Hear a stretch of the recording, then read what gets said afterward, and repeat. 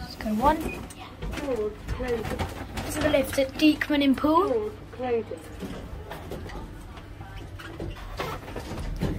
It's a Nova lift, capacity 600 kilograms, 8 persons. Look at the windows. This first floor. Go down to G. Doors opening. And glass doors as well. Going down to the ground floor. Doors closing. I haven't seen one of these lift before. Going down. This is a very nice glass lift. Now back at the ground. Zero.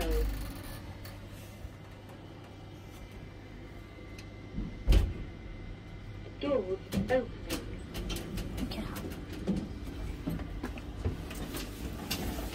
And that is it.